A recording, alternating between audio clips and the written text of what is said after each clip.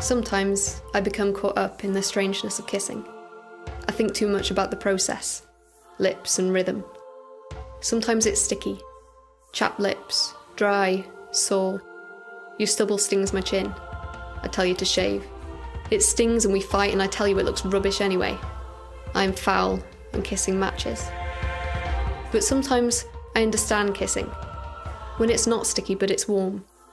It has a scent and a taste. There is affection, there is creature feeling.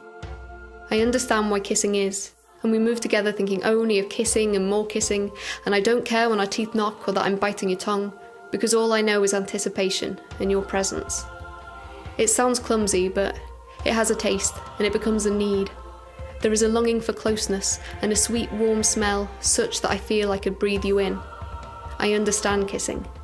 It is an urge to share the same breath. Maybe then it feels like an impulse, a human instinct, a reflex to affinity and beyond, one that we both share, that is exact and innate.